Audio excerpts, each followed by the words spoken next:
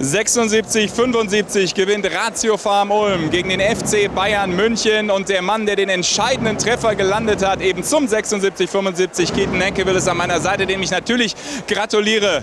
Keten, was für ein Spiel, what a match.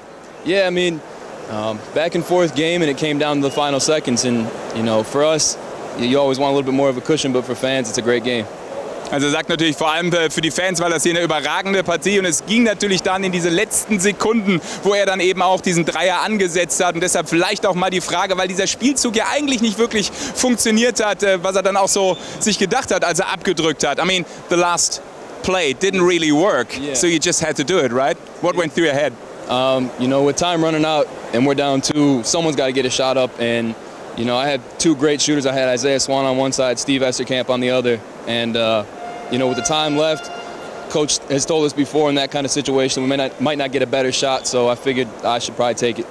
Ja, also er hat gesagt, vor allem äh, gab es da wahrscheinlich keine bessere Situation mehr. Und dann denkt er sich, okay, wenn, dann muss ich ihn machen. Ich muss kurz gucken, wo gibt es die Option. Ich dachte, ich hätte vielleicht die beste und da hat er abgedrückt zum Sieg. Jetzt ist die Frage natürlich, wie das mit Ulm weitergeht. Wir haben das ja eben schon mehrfach diskutiert. Tabellenplatz 2, es sieht richtig gut aus. Man greift oben sogar Bamberg an. I mean, what is possible with this team? I mean, you're second in the league. You're close to Bamberg. It's a hell of a ride so far. Yeah, um, you know, we're just trying to get better every day, every game, and um, you know, we've had some some times we've gone backwards. But we've also had a lot of times we've gone forward. So I think if we keep working hard, we'll do some good things this year. Dann sage ich danke. Thank you very much.